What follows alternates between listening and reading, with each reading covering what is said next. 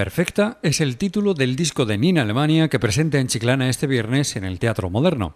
Ella explica la razón de haber elegido ese nombre. Puedo decir que los músicos que han participado y la gente que está dentro del trabajo para mí son perfectos, auténticos profesionales que, se han portado de maravilla, que lo han hecho con el corazón y con toda la humildad del mundo y esto pues requería que se presentara el día 18 aquí en Chiclana con respecto al concierto ha señalado que es un trabajo que había que presentarlo en Chiclana, en su pueblo, y para la gente de aquí y que le conoce.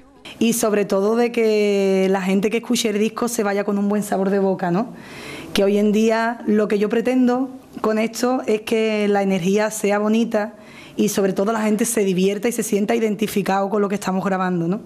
Que de eso se trata. Y creciendo también y descubriéndome poquito a poco que todavía me quedan muchos años por vivir, Pepa. ¿Eres muy joven? Hombre, por favor. La delegada municipal de Cultura, Pepa Vela, ha dado la enhorabuena al artista local por el trabajo realizado y animado a todo el mundo a acudir a esta cita en el Teatro Moderno. Como delegada de Cultura la quería acompañar porque es un momento importante en su carrera artística y como no, pues tenía que ser en su ciudad donde tenía que ser para presentar este trabajo ¿no? que viene en solitario.